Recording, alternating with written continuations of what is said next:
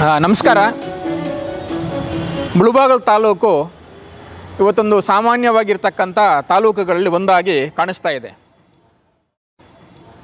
ನಾನ್ನೂರು ನಾನ್ನೂರೈವತ್ತು ವರ್ಷಗಳ ಹಿಂದೆ ವಿಜಯನಗರ ಕಾಲದ ಸುಮಾರು ಮೂವತ್ತು ಮೂವತ್ತೈದು ರಾಜ್ಯಗಳಲ್ಲಿ ಮುಳುಬಾಗಲು ರಾಜ್ಯ ಕೂಡ ಒಂದಾಗಿತ್ತು.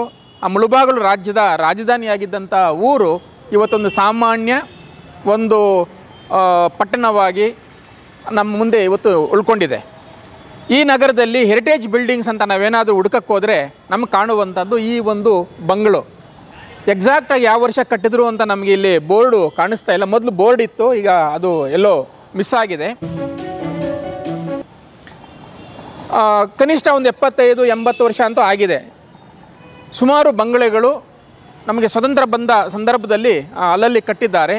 ಆ ರೀತಿ ನಮಗೆ ಒಂದಷ್ಟು ಬಿಲ್ಡಿಂಗ್ಸ್ ಮಾತ್ರ ಇವತ್ತು ಉಳ್ಕೊಂಡಿದ್ದಾವೆ ಕೋಲಾರದಲ್ಲಿ ಒಂದು ಉಳ್ಕೊಂಡಿದೆ ವೇಮ್ಗಲ್ಲಲ್ಲಿ ಒಂದು ಉಳ್ಕೊಂಡಿದೆ. ಅದೇ ಥರ ಮುಳುಬಾಗ್ನಲ್ಲೂ ಕೂಡ ನಮ್ಮ ಪೂರ್ವಿಕರು ಆ, ಜನ್ರೇಷನ್ ಇವತ್ತು ನಮ್ಮ ಮುಂದೆ ಇಲ್ಲ. ಅಂತ ಪೂರ್ವಿಕರು ಕಟ್ಟಿರ್ತಕ್ಕಂಥ ಒಂದಷ್ಟು ಅದ್ಭುತವಾಗಿರ್ತಕ್ಕಂತಹ ಸರಳವಾಗೇ ಕಾಣ್ತಕ್ಕಂಥ ಆದರೆ ಒಳಗಡೆ ನೋಡಿದ್ರೆ ತುಂಬ ಕಾಲ ಬಾಳಿಕೆ ಬರೋ ರೀತಿಯಲ್ಲಿ ಬಂಗಲೆಗಳನ್ನು ಕಟ್ಟಿದ್ದಾರೆ. ಆ ರೀತಿಯ ಅಮೂಲ್ಯವಾಗಿರುವಂತಹ ಬಂಗಲೆಗಳಲ್ಲಿ ಮುಳುಬಾಗಿಲಿನ ಈ ಆಯಕಟ್ಟನ ಜಾಗದಲ್ಲಿರ್ತಕ್ಕಂಥ ಬಂಗಲೆ ಕೂಡ ಒಂದಾಗಿದೆ. ಇತ್ತೀಚೆಗೆ ಕೋರ್ಟ್ ಇಲ್ಲಿಂದ ಬೇರೆ ಕಡೆ ಶಿಫ್ಟ್ ಆದ ಮೇಲೆ ಈ ಬಂಗಲೆಯ ಕಟ್ಟಡವನ್ನು ಖಾಸಗಿ ಅವರಿಗೆ ಇಲ್ಲಿ ಬಂಗಲೆ ಅಂತಂದರೆ ಪ್ರವಾಸಿ ಮಂದಿರವೇ. ಅಂದರೆ ಆ ಕಾಲಕ್ಕೆ ನಮ್ಮ ರಾಜ್ಯದ ಮುಖ್ಯಮಂತ್ರಿನೋ, ಮಂತ್ರಿಗಳೋ ಅಥವಾ ಅಧಿಕಾರಿಗಳು ಬಂದಾಗ ಈ ಭಾಗದ ಉಳ್ಕೊಳ್ಳೋಕ್ಕೆ ಅಂತ ಹೇಳಿ ಒಂದಷ್ಟು ಬಂಗಲೆಗಳನ್ನು, ಅಂದರೆ ಐ ಬಿಗಳನ್ನು ಕಟ್ತಾ ಇದ್ದರು ಆ ರೀತಿಯ ಒಂದು ಮುಖ್ಯವಾಗಿರುವಂಥ ಐ ಬಿ ಇದಾಗಿದೆ. ಇತ್ತೀಚೆಗೆ ಇಲ್ಲಿಂದ ಕೋರ್ಟು ಬೇರೆ ಕಡೆ ಶಿಫ್ಟ್ ಆದ ಮೇಲೆ ಇದು ಇವತ್ತು ಖಾಸಗಿಯವರಿಗೆ ಪರಭಾರ ಮಾಡುವಂಥ ರೀತಿಯಲ್ಲಿ ಇದನ್ನು ತುಂಬ ಹಳೆಯ ಹೆಂಚುಗಳನ್ನೆಲ್ಲ ತೆಗೆದು ಹೊರಗಡೆ ಹಾಕಿದ್ದಾರೆ. ಸೊ ಇಲ್ಲಿ ಕೆಲವರು, ಇಲ್ಲ, ಇದು ಹೆರಿಟೇಜ್ ಬಿಲ್ಡಿಂಗು ಹಾಗೆಲ್ಲ ನೀವು ತೆಗಿಬಾರ್ದು ಅಂತೇಳಿ ಇದನ್ನು ಕಾಪಾಡಿದ್ದಾರೆ. ಇಲ್ಲ ಅಂತೇಳಿ ಇಷ್ಟೊತ್ತಿಗೆ ಇದರ ಶೇಪೇನೆ ಬೇರೆ ಥರ ಆಗೋಗ್ತಿತ್ತು.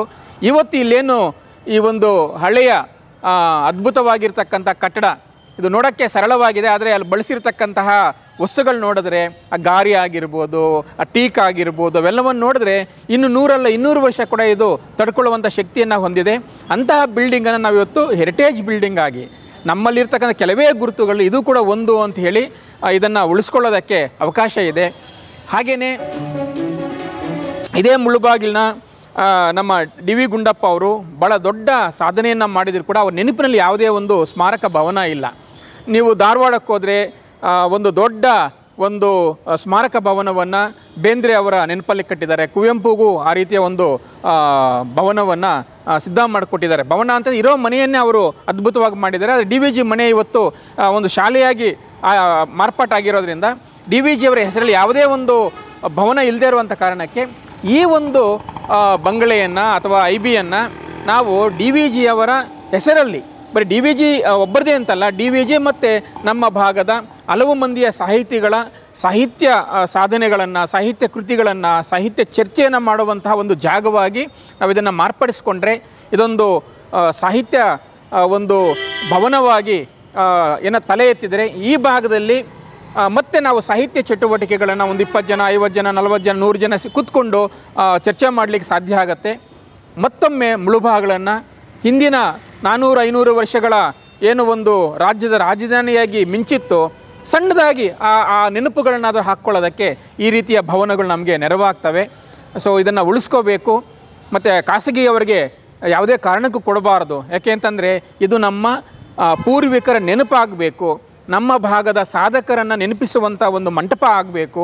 ಸೊ ಹಾಗಾಗಿ ನಮ್ಮ ಆ, ಆ, ಚಲಪತಿ ಅವರು ನಮ್ಮ ಬಿಜಿಲಿ ಅವರು ನಾನು ನಮ್ಮ ಥರ ಯೋಚನೆ ಮಾಡ್ತಾ ನೂರಾರು ಜನ ಸೇರಿ ಈ ಭವನವನ್ನು ಉಳಿಸ್ಕೊಳ್ಳೋದಕ್ಕೆ ಮತ್ತು ಇದನ್ನು ಒಂದು ಸ್ಮಾರಕವಾಗಿ ಸಾಹಿತ್ಯ ಸ್ಮಾರಕವಾಗಿ ಸಾಹಿತ್ಯ ಭವನವಾಗಿ ಮಾರ್ಪಾಟು ಮಾಡೋದಕ್ಕೆ ಏನೆಲ್ಲ ಮಾಡಬೇಕು ಅದೆಲ್ಲದಕ್ಕೂ ಕೂಡ ನಾವೆಲ್ಲ ಪ್ರಯತ್ನ ಮಾಡೋಣ ಅಂತ ಈ ಮೂಲಕ ನಾನು ವಿನಂತಿಸ್ತೀನಿ. ಮುಳುಬಾಗಲ್ ತಾಲೂಕು ಪಂಚಾಯಿತಿಯ ಅಧೀನದಲ್ಲಿರ್ತಕ್ಕಂಥ ಈ ಒಂದು ಐ ಬಿ ಏನಿದೆ ಇದು ಇವತ್ತು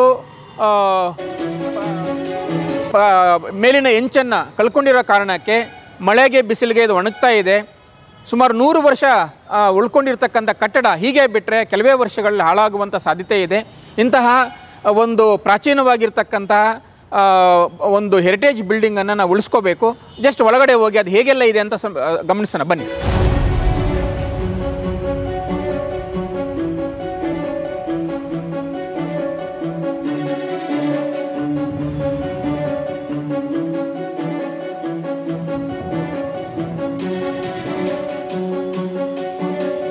ನೀವು ಗಮನಿಸಿ ಇದು.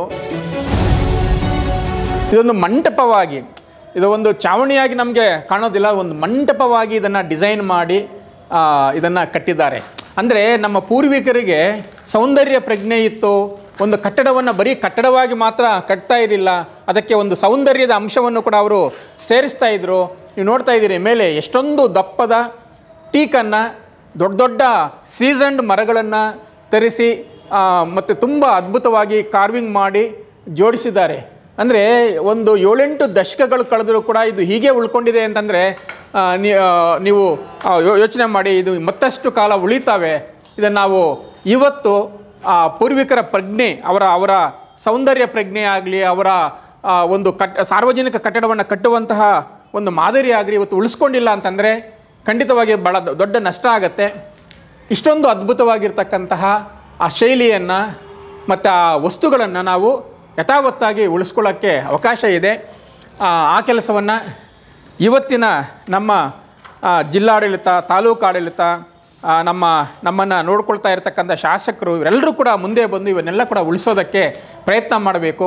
ಒಮ್ಮೆ ಒಂದು ಸಾರ್ವಜನಿಕ ಆಸ್ತಿಯನ್ನು ಕಳ್ಕೊಂಡ್ರೆ ಒಮ್ಮೆ ಖಾಸಗಿಯವರ ಕೈಗೆ ಈ ಥರದ ವಸ್ತುಗಳು ಸಿಕ್ಕಿಬಿಟ್ರೆ ಖಂಡಿತವಾಗಿ ವಾಪಸ್ ಪಡೆಯೋದು ಅಷ್ಟು ಸುಲಭ ಅಲ್ಲ.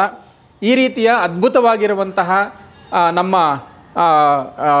ಹಳೆಯ ಒಂದು ಮಂಟಪಗಳನ್ನು, ಸ್ಮಾರಕಗಳನ್ನು ನಾವು ಉಳಿಸ್ಕೋಬೇಕು. ನಾವು ಸುತ್ತಮುತ್ತ ಕೋಲಾರನ ಮುಳುಬಾಗಿಲಿನ ಸುತ್ತಮುತ್ತ ಇರತಕ್ಕ ಅನೇಕ ಸ್ಮಾರಕಗಳನ್ನ ಈಗಾಗಲೇ ಕಳ್ಕೊಳ್ತಾ ಇದ್ದೀವಿ. ಅನೇಕ ಒತ್ತುವರಿಗಳಿಂದಾಗಿ ಕೆರೆಗಳು ಇವತ್ತು ಎನ್ಕ್ರೋಚ್ ಆಗ್ತಾ ಇದ್ದಾವೆ. ಹಾಗೆಯೇ ಅನೇಕ ದೇವಸ್ಥಾನಗಳು ಎನ್ಕ್ರೋಚ್ ಆಗ್ತಾ ಇದ್ದಾವೆ ನಾವು ಕೆಲವು ಕಡೆ ನೋಡ್ತೀವಿ, ದೇವಸ್ಥಾನದ ಗರ್ಭಗುಡಿಯಲ್ಲೇ ಮನೆ ಕಟ್ಟಿ ವಾಸ ಇರೋದನ್ನು ನಾನಂತೂ ಅನೇಕ ಕಡೆ ನೋಡಿದ್ದೇನೆ. ಅಂದರೆ, ಎಲ್ರಿಗೂ ಸೇರಿದ್ದು ಅಂತ ನಮಗೇನು ಒಂದು ಆಸ್ತಿ ಇದೆಯೋ, ಅದನ್ನು ಹಾಗೇ ಉಳಿಸ್ಕೊಂಡ್ರೆ ಅದು ಎಲ್ಲರ ಆಸ್ತಿಯಾಗಿ ಉಳಿತದೆ. ಒಬ್ಬ ವ್ಯಕ್ತಿಯ ಆಸ್ತಿ ಆಗಿಬಿಟ್ಟೆ ಖಂಡಿತವಾಗಿ ಅದು ಸಾರ್ವಜನಿಕ ಆಸ್ತಿ ಆಗಲ್ಲ. ಆ ರೀತಿ ಸಾರ್ವಜನಿಕ ಆಸ್ತಿಗಳನ್ನು ನಾವು ಉಳಿಸಬೇಕು ಅನ್ನೋ ಉದ್ದೇಶದಿಂದ ನಾವು ಇದನ್ನು ಒಂದು ಸಾಹಿತ್ಯ ಸ್ಮಾರಕ ಭವನವಾಗೋ ಅಥವಾ ನಮ್ಮ ನೆಲದ ಒಂದು ಕುರು ಹಾಗೂ ನಾವು ಉಳಿ ಉಳಿಸ್ಕೊಳ್ಳೋದಕ್ಕೆ ನಾವಿವತ್ತು ಯೋಚನೆ ಮಾಡಬೇಕಾಗಿದೆ. ಈ ರೀತಿಯ ಪ್ರಜ್ಞಾವಂತರೆಲ್ಲ ಕೂಡ ಮುಂದೆ ಬಂದು ಈ ರೀತಿಯ ಸ್ಮಾರಕವನ್ನು ಉಳಿಸುವಂಥ ಕೆಲಸ ಮಾಡಲಿ ಅಂತ ನಾನು ಈ ಸಂದರ್ಭದಲ್ಲಿ ವಿನಂತಿಸ್ಕೊಳ್ತೇನೆ. ಹಿಂದೆ ನಮ್ಮ ಜನ ಗಾರೆಯನ್ನು ಮಾಡ್ತಾ ಇದ್ರು. ನೀವು ಹಳ್ಳಿಗಳಿಗೆ ಹೋದರೆ ಇವತ್ತು ಕೂಡ ಗಾರೆಯನ್ನು ತಯಾರು ಮಾಡ್ತಾ ಇದ್ದಂಥ ಕಲ್ಲಿನ ಒಂದು ಗಾರೆಯ ಒಂದು ಯಂತ್ರಗಳು ನಮಗೆ ಅಲ್ಲಲ್ಲಿ ಕಾಣಿಸ್ತಾ, ಕಾಣಿಸ್ತವೆ. ಎಣ್ಣೆಯನ್ನು ತೆಗೆಯೋಕ್ಕೂ ಕೂಡ ಆ ರೀತಿಯ ಒಂದು ಕಲ್ಲಿನ ಇದನ್ನು ಬಳಸ್ತಾ ಇದ್ದರು ಗಾಣವನ್ನು ಬಳಸ್ತಾ ಇದ್ದರು ಇದನ್ನು ಕೂಡ ಯಾವುದನ್ನು ಗಾರಿಯನ್ನು ತಯಾರು ಮಾಡೋದಕ್ಕೂ ಕೂಡ ಈ ರೀತಿಯ ಒಂದು ಗಾಣವನ್ನು ಬಳಸ್ತಾ ಇದ್ದನ್ನು ನಾವು ಗಮನಿಸ್ತೇವೆ. ಅಂದರೆ ಒಂದು ಕಟ್ಟಡವನ್ನು ಕಟ್ಟೋದಕ್ಕೆ ಎಷ್ಟೊಂದು ಗಾಣಗಳು ಕೆಲಸ ಮಾಡಬೇಕಾಗಿತ್ತು. ಅನ್ನೋದನ್ನು ಕೂಡ ನಾವು ಊಹೆ ಮಾಡ್ಕೊಳ್ಳಿ. ಇವತ್ತಿನ ಹಾಗೆ ಸಿಮೆಂಟನ್ನು ರೆಡಿಮೇಡ್ ಸಿಮೆಂಟನ್ನು ತಂದು ಮರಳು ಜೊತೆ ಮಿಕ್ಸ್ ಮಾಡಿ ಮಾಡುವಂಥದ್ದಲ್ಲ. ಹಿಂದೆ ತುಂಬ ಜನ ಶ್ರಮಿಸಿದರೆ ಮಾತ್ರ ಈ ರೀತಿಯ ಒಂದು ದೊಡ್ಡ ಕಟ್ಟಡ ತಲೆ ಎತ್ತಲಿಕ್ಕೆ ಸಾಧ್ಯ ಇತ್ತು. ಮತ್ತು ಇಲ್ಲಿ ನೋಡ್ತಾ ಇದ್ದೀರಿ, ಬಹಳ ಗುಂಡಾಗಿರ್ತಕ್ಕಂತಹ ಗಾರೆಯ, ಇಟ್ಟಿಗೆ ಮತ್ತು ಗಾರೆಯ ಒಂದು ಪಿಲ್ಲರ್ಸನ್ನು ನಾವು ನೋಡ್ತಾ ಇದ್ದೀವಿ. ಸೊ ಅವೆಲ್ಲ ಕೂಡ ಇಷ್ಟು ವರ್ಷ ಆದರೂ ಕೂಡ ಏನೂ ಡ್ಯಾಮೇಜ್ ಆಗದೆ ಉಳ್ಕೊಂಡಿದೆಯಲ್ಲ, ಅದೇನೇ ಅದರ ಶಕ್ತಿಯನ್ನು ನಮಗೆ ತೋರಿಸ್ಕೊಡ್ತದೆ. ಈ ರೀತಿಯ ಗುಂಡಾದ ಒಂದು ಪಿಲ್ಲರ್ಸನ್ನು ನಮ್ಮ ಹಿಂದಿನವರು, ವಿಜಯನಗರ ಪೂರ್ವಕಾಲದ ರಾಜರುಗಳು ನಮ್ಮ ಆವಣಿ ಈ ರೀತಿಯ ದೇವಸ್ಥಾನಗಳಲ್ಲೂ ಕೂಡ ಕಲ್ಲಲ್ಲಿ ಕಟ್ಟಿದ್ದಾರೆ. ಇವರು ಸ್ವಲ್ಪ ಅಡ್ವಾನ್ಸ್ ಆಗಿ ಗಾರಿಯನ್ನು ಬಳಸ್ಕೊಂಡು ಈ ರೀತಿಯ ಒಂದು ಪಿಲ್ಲರ್ಸನ್ನು ಕಟ್ಟಿದ್ದಾರೆ. ಇವೆಲ್ಲ ಕೂಡ ಹಾಗೆ ಉಳಿಯಬೇಕು. ಮತ್ತು ನೀವು ಗೋಡೆ ನೋಡ್ತಾ ಇದ್ದೀರಿ. ಒಂದೊಂದು ಗೋಡೆ ಏನಿಲ್ಲ ಅಂದ ಕೂಡ ಎರಡು ಎರಡೂವರೆ ಅಡಿ ಅಷ್ಟು ದಪ್ಪ ಇದ್ದಾವೆ ಅಂದರೆ ಒಂದು ಕಟ್ಟಡ ಗಟ್ಟಿಯಾಗಿ ನೂರು ಕಾಲ ಇರಬೇಕು ಅನ್ನುವಂಥ ಉದ್ದೇಶ ಇಟ್ಕೊಂಡು ಇಷ್ಟೊಂದು ದಪ್ಪದ ಗೋಡೆಗಳನ್ನು ಈ ಕಟ್ಟಡಕ್ಕೆ ಕಟ್ಟಿದ್ದಾರೆ.